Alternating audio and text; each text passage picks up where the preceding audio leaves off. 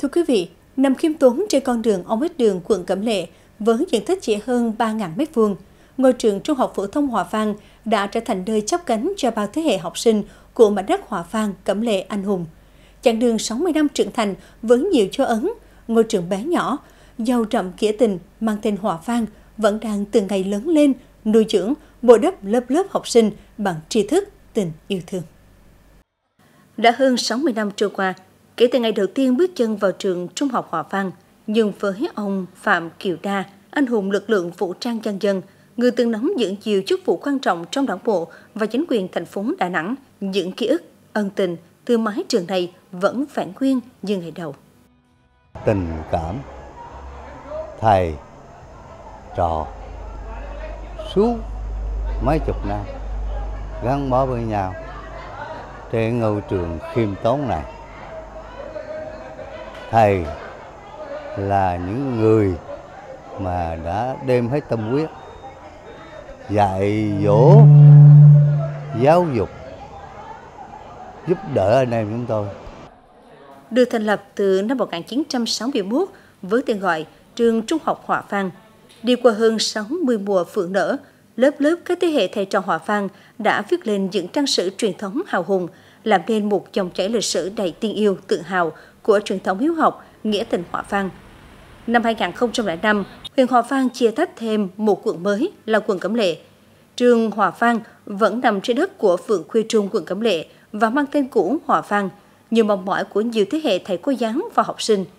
Có rất nhiều gia đình không chỉ ba mà bốn thế hệ đều trưởng thành từ ngôi trường này và nhà em cũng là một nhà có truyền thống học tại đây, nên là em cũng tự hào khi mà khi mà được bước chân vào ngôi trường này. Và người ta thường nói là ngôi trường là mái nhà thứ hai của mình.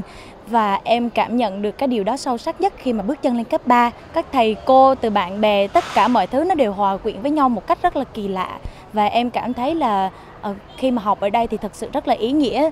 Cả gia đình mình à, từ mẹ mình rồi chị mình rồi tới mình đều à, đã có một cái thời gian dài ở ngôi trường này. À, mình vốn là một học sinh cũ và mình thực tập cũng ở trường này và khi ra trường thì mình lại trở về đây công tác.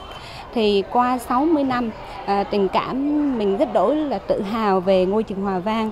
À, nặng tình đậm nghĩa và à, mình mong rằng là các cái thế hệ học sinh tiếp theo sẽ tiếp nối cái truyền thống này của nhà trường. Mặc dù điều kiện cơ sở vật chất còn nhiều hạn chế, diện tích và quy mô khá khiêm tốn, nhưng trường Trung học phổ thông Hòa Văn vẫn luôn là một trong những đơn vị dẫn đầu về chất lượng giáo dục của khối trung học phổ thông trên toàn thành phố. Chất lượng đầu vào lớp 10 nhiều năm qua đều nằm trong top 3 của khối trung học phổ thông.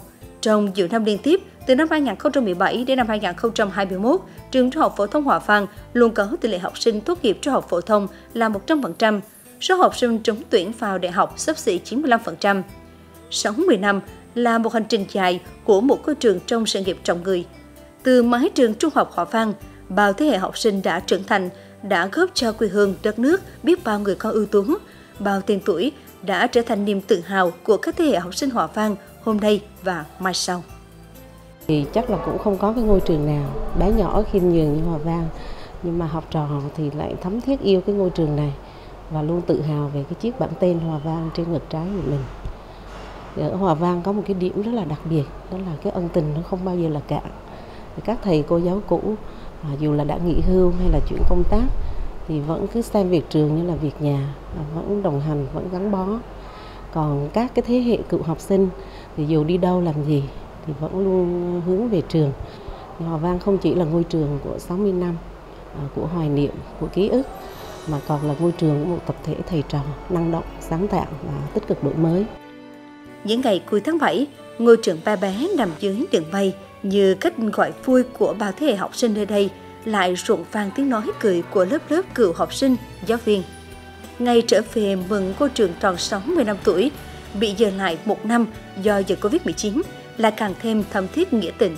Họ vang, ngôi trường của những an tình không bao giờ cạn và lễ kỷ niệm 60 năm thành lập nhà trường sẽ diễn ra vào ngày 30 tháng 7 tới đây cũng sẽ là một cột mốc quan trọng để nhà trường có đánh giá hết tổng quan những thành quả đã đạt được và những điều còn trăn trở.